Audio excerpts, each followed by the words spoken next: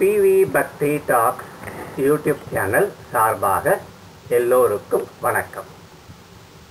இன்றைய தினம் ஆதிசங்கர ஜெயந்தி. ஆதிசங்கரின் வழி வழியாக வந்து நமக்கு அருள் பாலித்து ஜீவசமாதி அடைந்த சந்திரசேகர சுவாமிகள் அதாவது காஞ்சி காமகோட்டி மகா பெரியவா ஒரு குடும்பத்தில் நடந்த நிகழ்ச்சி மூலமாக நமக்கு புரிய வைத்தது என்ன என்பதை இந்த பதிவில் பார்க்கலாம். அந்த குடும்பம் என்ன? அந்த குடும்பம் என்ன என்றால் ஒரு தந்தை தாய் அவங்களுக்கு ஒரு பிள்ளை. அந்த தாயும் தந்தையும் எப்போதும் காலையில் பூஜை முடிச்சுட்டு சுவாமிக்கு நைவேத்தியம் பண்ணிவிட்டு ஆராதனை பண்ணிவிட்டு அதுக்கப்புறம் தான் சாப்பிடுவாங்க. அன்றைக்கி அந்த மகனுக்கு காலேஜுக்கு டைம் ஆகிடுச்சு அம்மா சீக்கிரம் எனக்கு இப்போ டைம் ஆச்சு எனக்கு டிஃபன் கொடுன்றோம் அப்போ அவங்க அப்பா சொல்கிற ஒரு ரெண்டு நிமிஷம் இரு. சுவாமிக்கு நைவேத்தியம் பண்ணிட்டா ஆராதனை முடித்தா உடனே உனக்கு உனக்கு தான் முதல்ல டிஃபன் அப்படின்ட்டு அப்போ அந்த பையன் சிரிக்கிறான். என்னப்பா அது? நம்ம சாமி என்னமோ உடனே அது சாப்பிட்ற மாதிரி நெய்வேதி பண்ணிட்டு அப்புறம் தான் நான் சாப்பிடணுங்கிறியே அப்படின்ட்டு ஏன்னா இந்த காலத்தில் எல்லாருமே எல்லாத்துக்கும் ஒரு எவிடன்ஸ் இருக்கா? ஒரு சாட்சி இருக்கா? அப்படின்னு கேட்கக்கூடிய காலம் இது. அதே போல் அந்த பையன் கேட்குறான். அது எப்படியோ அவங்க அது அந்த சகல சமாளிச்சுட்டு உடனே ஆராதனை முடிச்சுட்டு அவனுக்கு டிஃபனை கொடுத்து அனுப்பிச்சுறாங்க அந்த குடும்பம் வந்து ஒரு முறை காஞ்சி சக்கரப்பட போகிறாங்க மகா பெரியவா தரிசனம் பண்ணுறதுக்காக அவன் இந்த பையன் கூட அழைச்சிட்டு போகிறாங்க அந்த பையன் வேண்ட விருப்ப போகிறான் இதெல்லாம் எதுக்கு அப்படின்ட்டு. இவங்களுடைய நேரம் வரும்போது சுவாமி கிட்ட போயிட்டு நமஸ்காரம் பண்ண போகிறாங்க அப்போ அப்பா வந்து பையன் கண்டிக்கிறார்.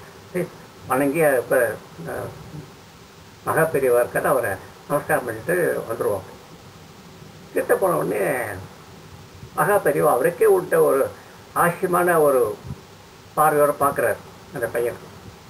ஆமாம் ஏதோ முகத்தில் சந்தேகம் தெரியுதே கேட்டுறேன். அப்பா அவங்கள இருக்காங்க இல்லையா? கேட்டுறேன் அப்படின்ட்டு.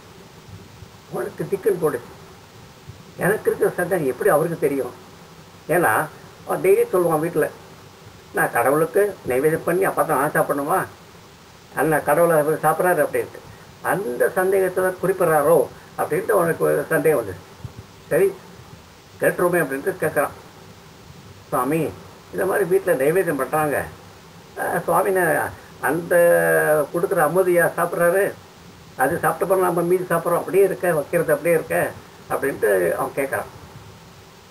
அதுக்கு மகா பெரியவர் சிரிச்சுக்கிற சரி இதற்கு இங்கே பாரு நிறைய புஸ்தகங்கள் இருக்குது ஆன்மீக புஸ்தகங்கள் ஏன்னா ஒன்று எடுத்துக்கோ அப்படிங்கிறார். ஐயோ இதனால் சொல்லிட்டு சங்கடமாக பற்றி சொல்லிட்டு இருக்கிற ஒரு சின்ன புத்தகம் ஒன்று எடுத்துக்கிட்டான். சரி இது என்ன பண்ணு இதில் இருக்கிற ஸ்லோகங்கள்லாம் ஒரு ரெண்டு நாள் வந்து படி வீட்டில் ரெண்டு நாள் கழிச்சு என்னை வந்து பார் அப்படின்ட்டார். சரி சொல்லிட்டு வந்துட்டான் வீட்டு சின்ன புத்தகம் தான் ஒரு இருபது ஸ்லோகம் தான் இருக்கும். அதுக்கு இருக்கிற படிச்சுட்டான். படிச்சு அப்பா படிச்சுட்டேன். என்னமோ சாமி என்று சொன்னார். வந்து சொல்ல சொன்னார் அவர். சரி கூப்பிட்டு போகிறாங்க அதே மாதிரி சுவாமிகிட்ட போகிற அவர் நேரம் வரும்போது அவர் கையை நீட்டுறார். அவனுக்கு புரியல. ஆமாம் அவனுக்கு ஒரு புத்தகம் கொடுத்தானே எங்கே அது அப்படின்னு சுவாமி தூரத்துக்கு சொல்லி கொடுக்குறான். சரி படிச்சிட்டியா? படிச்சுட்டேன். இங்கே சொல்ல பார்ப்போம் கடை கடை கடை சொல்லிடுறான். அது பத்து இருபது ஸ்லோகத்தை. அவ்வளோதான் சாமி அப்படின்ட்டு இல்லையே நீ எல்லாம் படிச்சிட்ட? எல்லாம் ஒன்று இதை மனசில் ஏற்றிக்கிட்டியா உன் புத்தியில் ஏற்றிக்கிட்டியா நான் ஏற்றிக்கிட்டேன் சரி புத்தகத்தை பரட்டினார் புத்தகத்தை பரட்டலாம். எல்லாம் இருக்கு புத்தகத்தில்? இப்போ உனக்குள்ளே போயிடுச்சுனாக்கா எப்படி இங்கே பிரிண்ட் இருக்கும்? எல்லாம் தான் உன் புத்தியில் படித்தேன் அது எப்படி சாமி? நான் படித்த என் புத்திக்கு அப்படின்னு சொல்லிட்டு அவனுக்கு புரியலை புரியல. அப்போ அவர் சொல்கிறார் நீ கேட்டி அன்றைக்கி சந்தேகம். இப்போ நான் பதில் சொல்கிறேன் உனக்கு அதுக்கு. எப்படின்னா சுவாமிக்கு நைவேத்தியம் படைக்கிறோம். படைக்கும்போது அவர் அதை ஆத்ம திருப்தியோடு ஏற்றுக்கிறார் அந்த சாதம் தான் நமக்கு பிரசாதமாக நமக்கு கிடைக்கிறது. அந்த பிரசாதத்தை நம்ம சாப்பிடும்போது நமக்கு ஒரு மன திருப்தி.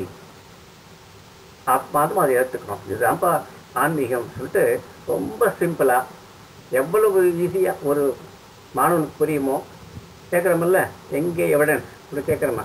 அதுக்கு அழகான ஒரு விளக்கத்தை தந்தார் மகா ஜெய ஜெயசங்கர ஹரஹர சங்கர.